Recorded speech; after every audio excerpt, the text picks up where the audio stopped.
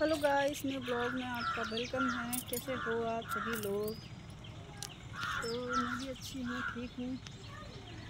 और अभी छत पे हूँ। देख रहे हो आप लोग?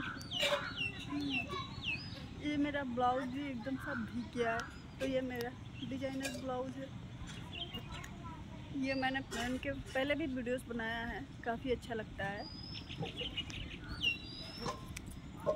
और आज भी मैंने इसी को पहन के वीडियो बनाया।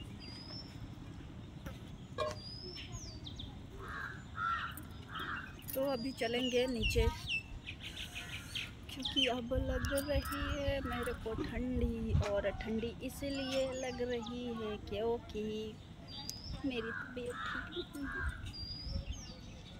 मेरे को लगता है कि बुखार है मुझे। हाँ सही में। और बुखार का इसलिए लगता है क्योंकि तबीयत बिल्कुल ठीक नहीं लग रही है। पाँव दुख रहा है, हाथ दुख रहा है। और पूरी बॉडी में ऐसा थोड़ा थोड़ा दुख रहा है। कुछ काम करने की इच्छा नहीं होती। पता है, मैं रोज़ एक्सरसाइज करती थी, पर तीन चार दिन से नहीं कर रही हूँ। और नहीं करने की वजह यही है कि इतना ज़्यादा दुखता जो तो कोई बात नहीं दुखने दो। मैं अभी अभी अगर दोबारा से बारिश नहीं हुई तो मैं जाऊँगी थोड़ा फुल्की उल्की खाने के लिए। फुल्की आप तो जानते नहीं होंगे पानी पूड़ी तो मैं पानी पूड़ी खाने जाऊँगी, वहाँ पे मैं थोड़ा आगे जाके दवा भी ले लूँगी। तो आज का ब्लॉग कैसा लगा आप लोग ज़रूर बताएँगे मेरा बाल बाल बाल बाल बाल। तो अभी चल के मैं बाल धुल लूँगी एक काम बढ़ गया यार। ये बाल धुलना पड़ेगा, कपड़े धोने पड़ेंगे।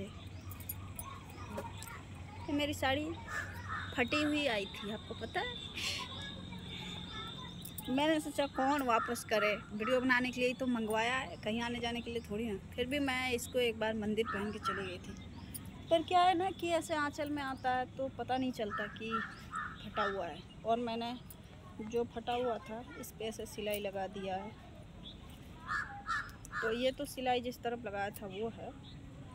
और ये इस तरफ़ देखो, ज़्यादा पता नहीं चलता ऐसे जब ऐसे एकदम देखो, नज़दीक से तो पता चलता है। तो बहुत ही अच्छी साड़ी है, पर ये इसका जो इस ऊपर ऐसे बना है ना, ये कुछ टाइम बाद ऐसे वाइट वाइट हो जाएगा। तो इसका कलर डिसकलर हो जाएगा तो उतना अच्छा नहीं दिखेगा। ओके मिलते हैं अगले ब्लॉग में। आज का ब्लॉग कैसा लगा, ज़रूर